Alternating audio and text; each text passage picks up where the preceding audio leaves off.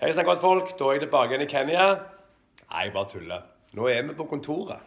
Hallo! Hei, hei, hei. Hei sann, godt folk. Da er vi kommet hjem fra ti dager i Ja, Kenya. det har du redan sagt. Det har jeg allerede sagt. Så drit i det. Fantastiske opplevelser. Men. Fantastiske folk. Absolutt. Og familien til Pamela Ja, vi ringte henne går, for vi var veldig urolige. Vi hadde ikke fått svar på flere dager. Hei, Pamela, how are you?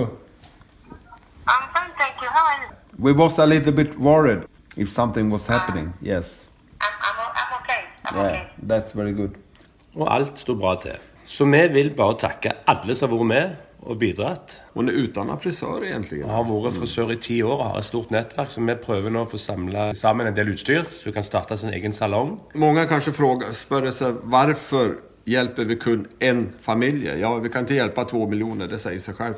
Vi skal vise litt mer hva som har skjedd i Kenya. Det- alle djuren vi såg, det var helt fantastisk. Ja, Og så har vi ikke minst spilt en musikkvideo med Jadel Eriksen. Den vi- kommer jo. Den jobber Om vi ikke med. lenge. Den ja, jobber vi med. jobber med det. Så det kan jeg bare si, det har vært en opplevelse å, å bli kjent med det kenyanske folket. De er helt fantastiske. Og så skal vi ha en veldedighetskonsert til inntekt for dette prosjektet den 10. og 11. mai. Yes. Forhåpentligvis nede i sentrum, i Ja. et stort telt. Vi skal bli 5, 6, 7, 8, 900 000, 2000 folk. Vi kommer å legge ut akkurat hvor man skal melde seg på. Yes. Så vi kommer tilbake. Absolutt.